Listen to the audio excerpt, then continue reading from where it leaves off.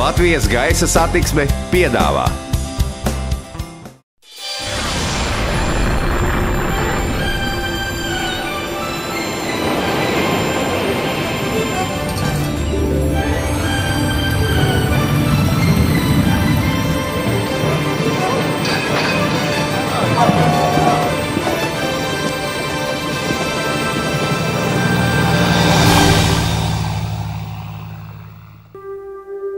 Vai zināt, kāpēc putni nesapņo? Putni prot lidot. Tiem šis sapnis ir liekas. Mūžsanais sapnis par lidošanu pieder cilvēkam. Nu tas tiek realizēts un piepildīts. Taču līdz tam cilvēks ir gājusi ilgu un smagu aviācijas attīstības ceļu. Daudzi par to, lai mēs šodien varētu skatīties zemi no putna lidojuma, ir samaksājuši visaugstāko cenu. 17. gadsimta otrā pusē Latviešu kalējs Zviedris Johansons ar pašu izgatavotiem spārniem no Priekulas torņa baznīcas izdarījis Latvijā pirmo lidojuma mēģinājumu. Toreiz lidojumu pasludināja par nepiedodamu dieva zaimošanu. Vietējo ikaru rādīja cilvēkiem kā pašu sātanu iemiesojumu un grobiņā uz sārta sadedzināja. Taču tautas atmiņā saglabājies nostāsts par varoni, kas gribēja jau toreiz sākt piepildīt cilvēces mūžsano sapni - lidot. Kurzemes hercogistē nepilnus trīs gadus pēc brāļiem Montgalifjē latviešu mehāniķis Bīnemanis uzbūvēja pirmos gaisa balonus, ar kuriem pacēlās gaisā. Cienījamie skatītāji, mēs atrodamies ciemos pie Edvīna Brūveļkunga, kas ir grāmatas par Latvijas aviācijas vēsturi uh, autors. Edvīns Brūvels savas grāmatas 460 lapas pusēs ir apkopojis skaitļus un faktus, sasniegumus un panākumus Latvijas aviācijā no 20. gadsimta sākuma līdz visu aviācijas struktūru likvidācijai 1940. gada beigās. 1909. gadā Kalups rūpnīcā motors uzbūvēja pirmo lidmašīnu. Pirms Pirmā pasaules kara Rīga atradās zinātniski tehniskā progresa avangardā. Šeit tika uzbūvēts pirmais pasaulē aviācijas angārs, pirmais Krievijas impērijā aviācijas motors. Rūpnīcā Rusa Balta tika ražot motori tā laika jaudīgākajai lidmašīnai – Ilja Murabietis. Nav brīnums, ka šādā pilsētā dzima nākamais raķešu būvs celmlauzes Friedrichs Sanders – Bet īpaši strauju attīstību Latvijā aviācija guva pēc brīvas cīņas noslēguma. Pagājušā gadsimta 20. gados 51 hektāru lielā teritorijā atklāja lidostu, kur 30. gados nosauca par Spilves gaisa ostu.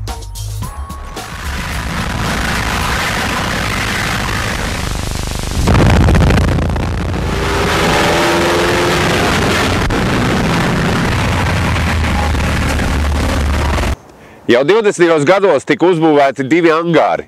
Rīgas liepājas reisa apkalpojušo lidmašīnu un privāto lidmašīnu novietošanai. Gaisa satiksmes kārtības uzturēšanai uzbūvēja stacijas ēku ar pasažieru uzgaidāmajām telpām un muitu, meteoroloģisko staciju, pastu, telegrāfu, komendatūru un pat restorānu. Startautisku nozīmes pils gaisa osta iegūta 1928. gadā, kad to iekļāva Vācu Krievu līdzsabiedrības Deruluft tīklā. Tad šeit savus nosēšanās sāka veikt lidmašīnas, kas lidojumus veica no Vācijas uz Krievijas pilsētām – Pēterburgu un Maskavu.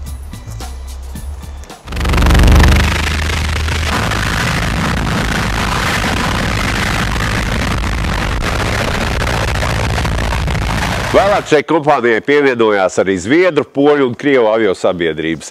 30. gadu beigās Rīgas gaisa osta tika iekļauta vairākās Transeiropas aviolīnijās, kā arī iekšzemes satiksmes līnijā ar Liepāju. Spils lidlauks kalpoja arī Latvijas kara aviācijas vajadzībām. Galvenā militārā lidlauka statusu tas saglabāja līdz pat 1940. gadam. No 30. gada Spilvē savu māju vietu atrada arī aizsarga aviācija, kur īpaši plašu savu darbību izvērsa pēc 1934. gada.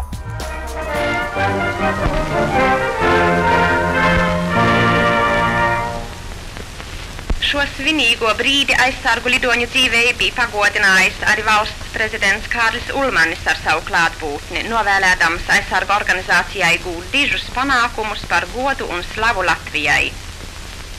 Mūsu lielākās naudas iestādes Latvijas Banka, Hipotēku banka un Valsts zemes banka ar slimo kasu starpbiroju aizsargu aviācijai dāvināja piecas jaunas Liepājā būvētas kod 2 lidmašīnas.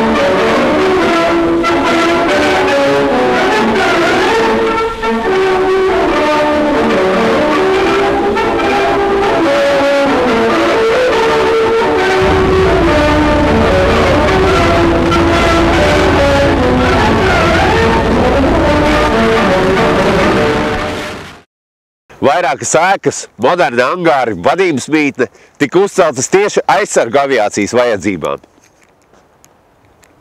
Šeit dzimuši mūsu aviācijas lielākie sasniegumi. To skaitā Kārļa Irbīša lidmašīnu rekordi un Herberta Cukura līdz šim nepārspētie tālidojumi.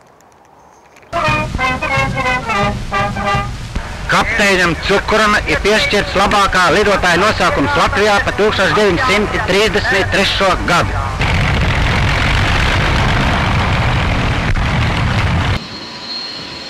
Par Latvijas valsts un tās aviācijas augsto līmeni liecināja tas, ka valstī strauji attīstījās avio rūpniecība. 1925. gadā atklāja lidmašīnu rūpnīcu Kristīna Bekmena. Rūpnīca viņas galvenā uzdevuma bija nevis aviācija, bet aviācija bija tikai apakšnodaļa. Nu, un pat cik tā Behmans firma bankrotēja, ja, tad bija galvenokārt sakarā ar to, ka tas Bahmans vīrs bija mūsu bijušais ārlietu ministrs Mierovics. Un kad Mierovics aizgāja bojā, kā zināms, autokatastrofā, tad viņi to lietu pārdzīvoja, viņi pat izdarīja pašnāvību nošāvās, un tā tā filma izputēja. 30. gados Liepājas karostas darbnīcās Tosmare ražoja kodu lidaparātus Latvijas armijas vajadzībām. Vēl, vēl ar kodu pievienoja VEFam. VEF sāka lidmašīnas nodaļu strādāt no 35. gada. Taču savu apogēju aviācijas rūpniecība Latvijā sasniedza tad, kad VEFā sāka strādāt Kārlis Irbītis. Pirms nedēļas Kārlis Irbīts būtu nosvinējis savu 104. dzimšanas dienu. Viņš dzimis 1904. gada 14. oktobrī. 1908. gadā Irbīts ģimene pārceļas uz dzīvi šeit, Čiekurkalnā. Kārlim bija 9 gadi, kad viņš pirmoreiz ieraudzīja lidmašīnu pārlidojumu pār Čiekurkalna debesīm. Toreiz tepat netālu no Kārļa mājām tika uzcelts Krusta baznīcas lidlauks, un Kārlim radās iespēja katru dienu aplūkot lidmašīnas. It īpaši viņam patika rakņāties avarējušo lidmašīnu lūžģu kaudzē. 1924. gadā Kārlis Irbīts iestājās Latvijas aeroklubā, kur viņam bija iespēja satikties ar interesantiem cilvēkiem un lasīt ārvalstu aviācijas žurnālus. Latvijas aeroklubā Irbīts iepazinās ar Nikolaju Pūliņu. Viņa lidmašīnas sprīdītis bija avarējusi un Kārlis, veicot virkni aprēķinu, atrada vislabāko variantu tās atjaunošanai. Kārlim ar Nikolai izveidojās ilgstoša sadarbība. Tās rezultātā tika konstruētas piecas lidmašīnas. 1932. gadā Kārlis Irbīts apmeklēja Berlīnas sporta aviācijas izstādi. Pirmo reizi viņam visos sīkumos izdodas izpētīt vairākas vācu lidmašīnas. Drīz vien viņam radās doma par jaunas lidmašīnas konstruēšanu tālidojumiem. Nikolais Pūliņš atrada finansētāju, un Kārlis konstruēja savu sesto lidmašīnu. To nosauca par Gambiju. 1934. gadā Kārlis Irbīts sāk savu darbu valsts elektrofabrikā. Tieši viņš ir slavenā VF logo autors. Kārs Irbīts konstruēja VF antēnu. 1935. gadā Irbīts ierosina VFā sākt ražot ikāra tipa lidmašīnas, un VF administrācija atbalsta šo Kārļa priekšlikumu. Civilās aviācijas pulkvedis Indāns un aeroklubu pārstāvi to neatbalstīja jo viņu prāt lidmašīnas rūpnieciski varēja izgatavot tikai ārzemēs. Tomēr VF direktors Vītols un pārdošanas daļas vadītājs Johansons pastāvējis to, ka VF lidmašīnas var ražot. Kārlis uzzīmēja skices, un tieši šajā vietā radās VF lidmašīnu ražotne. Pirmā lidmašīna I-11 varēja tapt. Tā bija viņa 11. lidmašīna, un to nosauca I-11. 1936. gada 23. jūnijā Līgos svētkos svinīgos apstākļos to no šejienes aiztransportēja uz Spilves lidlauku. Pirmās pārbaudes bija sekmīgas. Pārbaudot lidmašīnas ātrumu, tas bija 229,3 km/h, par 39,3 km lielāks nekā analogām vācu lidmašīnām. Šai lidmašīnai sekoja I-12, kuru izgatavoja 1937. gadā. Par šo lidmašīnu ārvalstīs bija ļoti liela interese. Pieteicās arī pircēji.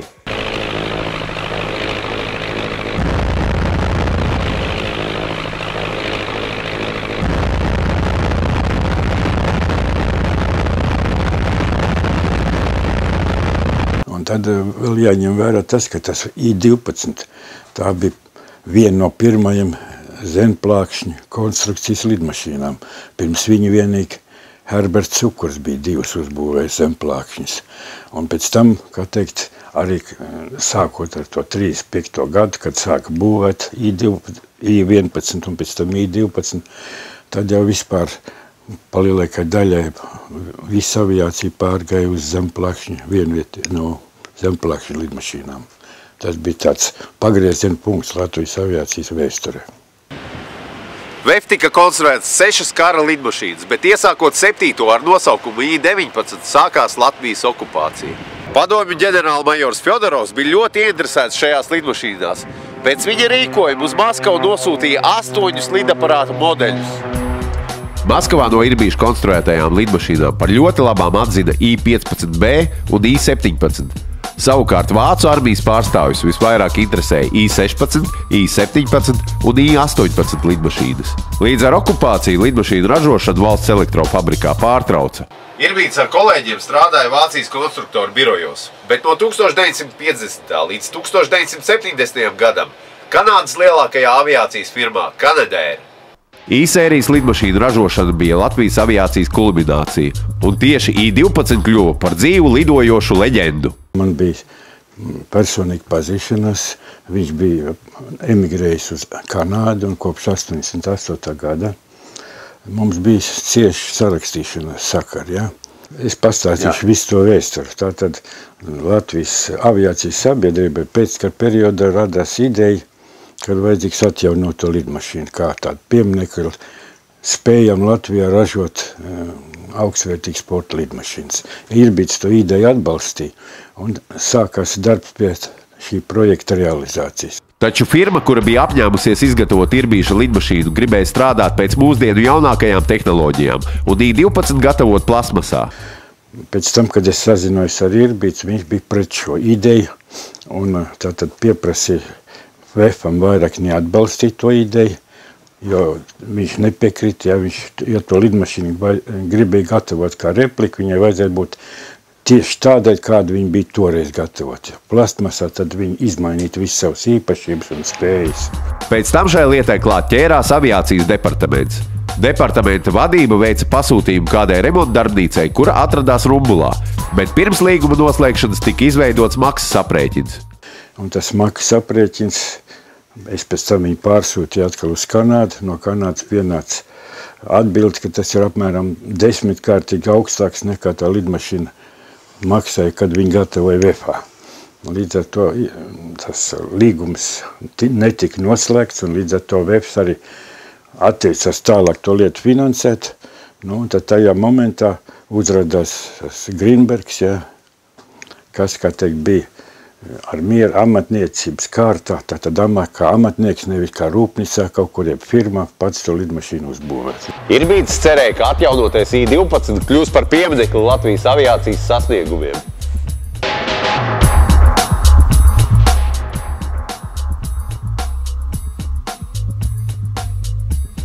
Dodamies pie amatnieka aviācijas entuziasta Grīnberga kunga. Raudzīt, kā veicas ar Latvijas aviācijas pieminekļa būvniecību.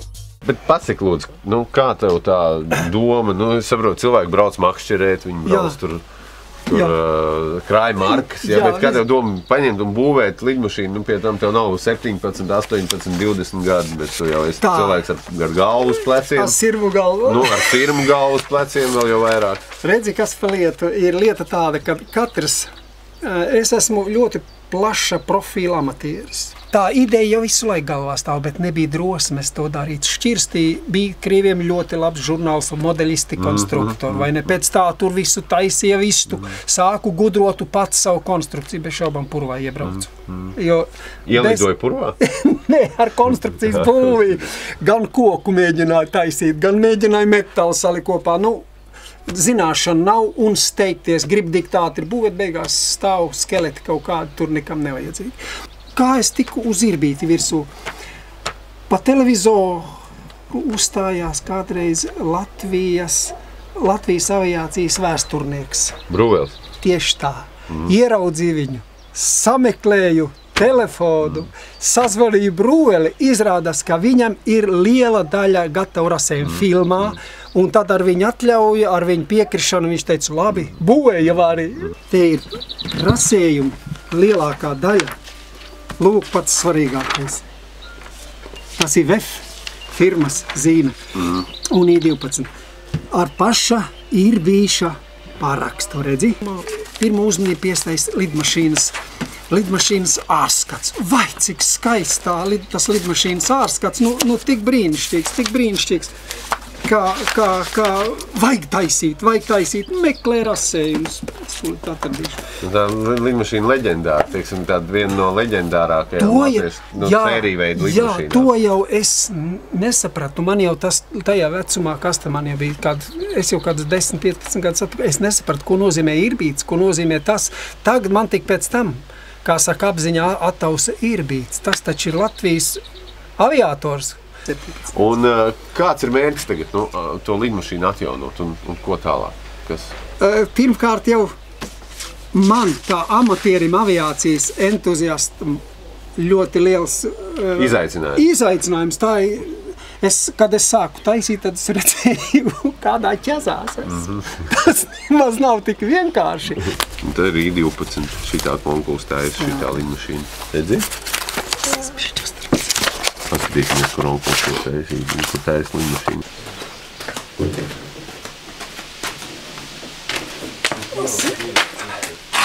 Stabilizators.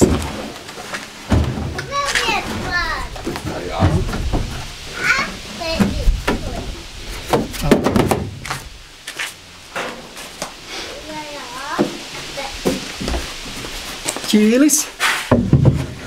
Tā tiek salikts un, un būs samontēts. Te būs aptecēšanas līnijas un virziens.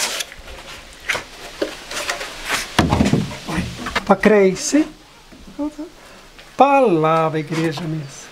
Te, e, montē mehaniku iekšā, augstums stūri, vir, virziens stūrī trosas nāks cauri.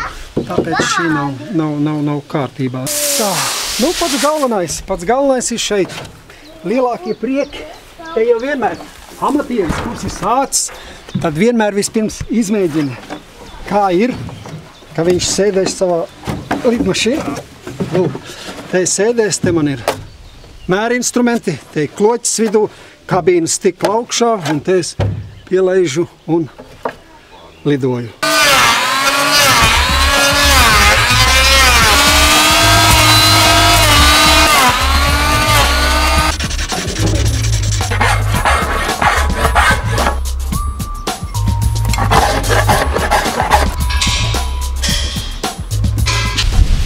Vietā, kā zināms, lidmašīnām tiek stiprināti motori. Arī I-12 šajā vietā tiks piestiprināts leģendārais cirrus motors. Man jāatgādina, ka tas ir vienīgais tāda veida, tāda tipa motors, kurš ir saglabājies oriģinālā.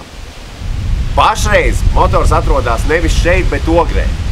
Un mēs aizbrauksim, apskatīsimies, ko tad latviešu amatnieki no viena, var teikt, veca lūžņa var izveidot. pienācās jau drusku viņam tas skramps pielīdzināt. Tas ir augstuma korektors, šis ir rāzi. Jā, tāds ir šis otrādis. Ja? jā. Un šis gan ir atjaunots. Jā, tas ir viss, nu, atdots un diezgan labā kvalitātē nosinkots viss ir. Pārklāts ar cinku, un tas ir alumīnijas, bet pārklāts ar laku.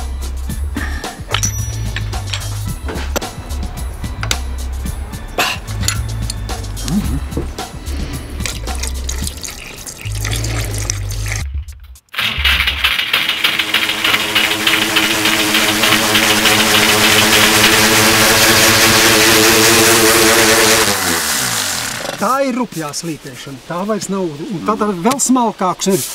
Jo atkrīt krāsojot jau līdzenis paliek, jau, jau krāsojot. Un, un tad, kad tu esi nošpaklējis, tad tu vēl slīpē. Mm. Uztaisa smilšu papīru uzliek uz šādu te garu, pa visu spārnu gandrīz. Un, un ņem, un to, ja tās ribas ir savērts, ņem tās ribas un slīpē. Un skatās, aha, te vajag, te vajag, te vajag. Un slīpē. Ļoti garlaicīgs un smags darbs, ļoti. Bet, nu, ja tu gribi uztaisīt lidmašīnu, tad ir jātaisa, neko nevar darīt. Lūk, pasūtīts ir pabūts divas tādas, kā ir bītim, ir benzīnbāks. Tieši spānos vienu katru, katru pa 60 litriem. 66, 120 litru. Tā, šis te tiks apvilkts ar drēbi, tas ir tā saucamā aizspārns, ja es viņu sauc pa klapi. Tā nolaižās lejā, lidmašīna tiek bremzēta.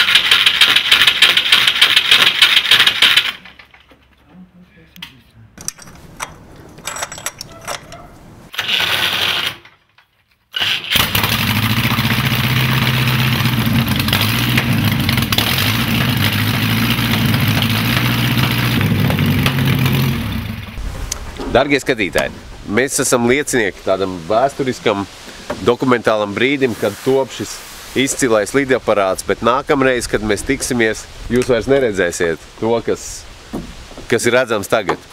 Arī es vairs neredzēšu. Nākošais tas jau būs gatavs lidaparāts, kurā mēs varēsim iesaisties, iespējams pacelties spārnos. Pēc vairākiem sūri grūtā darbā pavadītiem mēnešiem ir pienākusi diena, kad zilais putns seko savu priekšteču pēdām spilves lidlaukā. Jūras aizgāja pārbaudīt, vai aizdedz ir izslēgta, citādi motoru palaišana var būt bīstam. Um, bieži vien motoru palaižot, ja nav pārbaudīts, uh, motors iestrādājas, un tad var notikt liela nelēma, var noraut roku, galvu. Nu, pārbaudīts ir? Jā, pārbaudīts, tur ir izslēgts, tā, ka mēs iesūcam, iesūcam cilindros degvielu.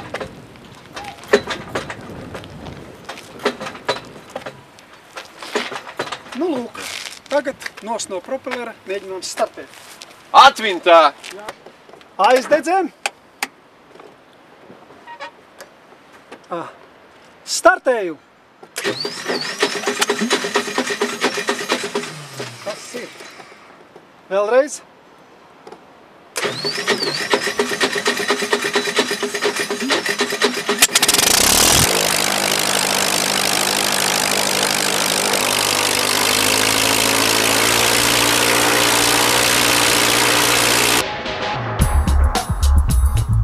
Tagad mēs pārbaudīsim uh, vilkmi propellera.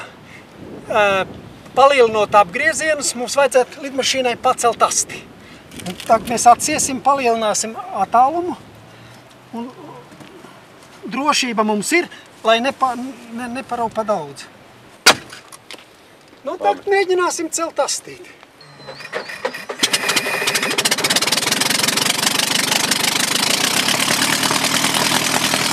Vispirms jāpārbauda, vai atjaunotajam cirrus motoram ir pietiekama vilkme, vai tas spēs pacelt zilā putna asti.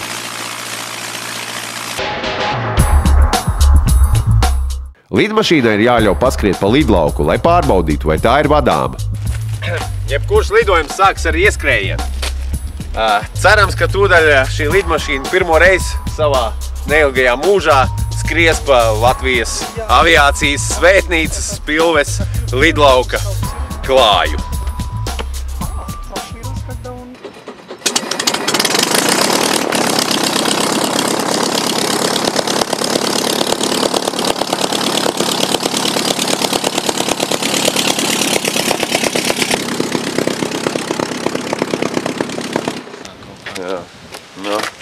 Kādi, kādi slēdzieni. kā viņi skrien, tā kā pūciņi. Jā, Uzreiz. mēs skrējam arī jāliek aizmuguri briterim ir atspērklāt, lai aizmuguris likums nevibrē. Bet, bet viņa tāda izskatās, ka viņai ļoti gribēsies celties gaisā. Viņa tik, tik ātri viņa velk uz... No tavas mutes dievs. Jā, bet tā, tā sajūta ir tāda. Vai sapnim ir smarža? Smilšpapīram un kokam ir smarža, līmei ir smarža, motoreļai un metāla detaļām ir smarža, zāģu skaidām un priežu sveķiem ir smarža. No finiera un koka detaļām tika izgatavota lidmašīna. Cirvis kļuva par Irbīša 12. lidmašīnas konstrukcijas sirdi. No visstaltākās priedes tika grebts propellers. Lidmašīnas dvēsele ir sapnis. To sirmo kungu sapnis, kuru acīs vēl manāms jauneklīgs mirdzums. Ar pirmajiem rasējumiem, kas paņemti rokās, ar sūru un nogurdinošu darbu, ar ilgadēju pieredzi un mīlestību, sapnis tiek spārnots, lai paceltos virs mūsu galvām zilajās debesīs.